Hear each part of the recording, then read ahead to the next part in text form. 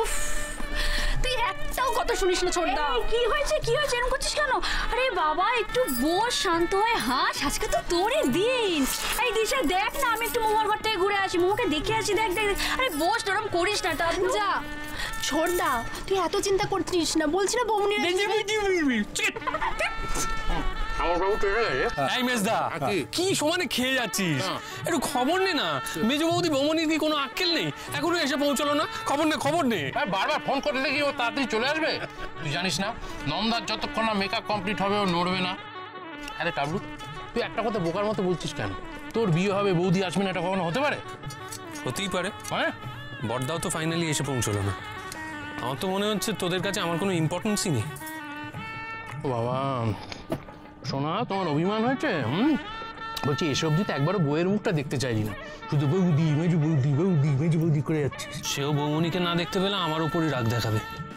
উফ দাঁড়া বাবা দেখছ ও। ভাই অরূপ। কি গো খবর পেলে কিছু? বৌমনি ফোন নট রিচেবল আর দিদি বেরোচ্ছে পাঁচ মিনিটে। বেরোচ্ছে মানে এখনও চলছে? চুনকামের পৌঁছ হ্যাঁ? চোখে একটু বোঝাও নাকি অস্থির হয়ে যাচ্ছে। দেবল গুড নিউজ বৌমনি আর দিদি পাঁচ মিনিটে বেরোচ্ছে। সত্যি? ইয়েস একদম সত্যি। শুনে নিয়েছিস তো? নন্দা বলেছে পাঁচ মিনিটের মধ্যে বেরোচ্ছে। তার মানে কাল সকালের আগে এসে পৌঁছে যাবে। হ্যাঁ। হ্যাঁ? ওরা খাবি?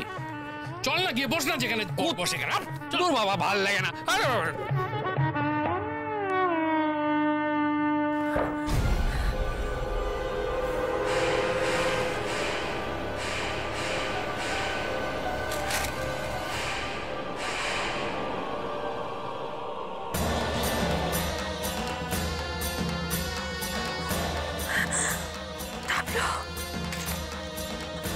Ha!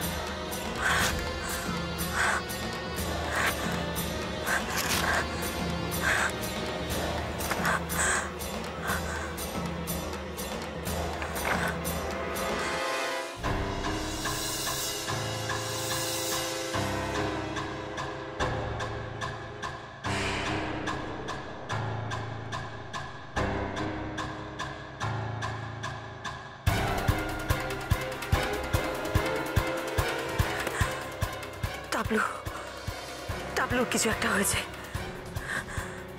আমার ফোন আমার ফোনটা আমার ফোনটা কোথায় গেল? ফোনটা কোথায়? উফ!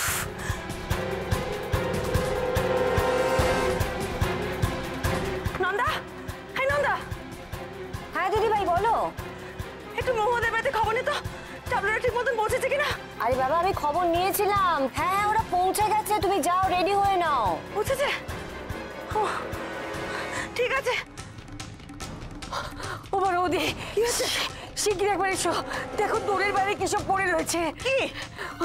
মানুষের দাঁতের আর আমার দেখে কেমন করছে শরীরটা। দাঁত! দাঁত! কি বলল শঙ্করের মা?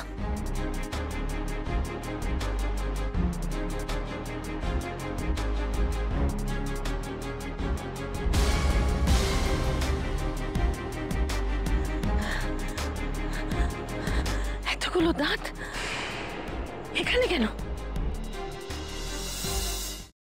আমি এই সব কিছু বন্ধ করতে পারি কিন্তু একটা শর্তে। তোমাকে আর দুর্গাকে আমাকে ছুঁয়ে কথা দিতে হবে।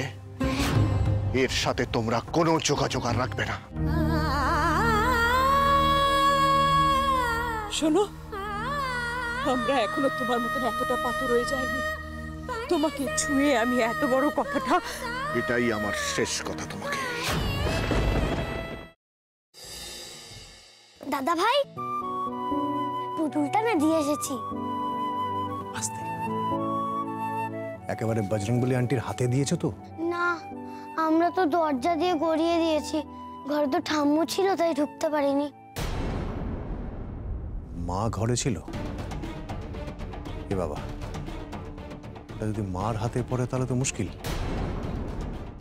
ওনার কোনো সর্দারজির সাথে পরিচয় ছিল? সর্দারজি?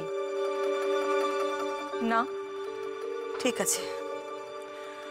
আমি তাও বলব আপনারা একটু ঠান্ডা মাথায় ভাবুন। আসলে আমার জানাটা খুব দরকার। আমি তাহলে আসি। কিছু মনে পড়লে আমাকে অবশ্যই জানাবেন। আচ্ছা।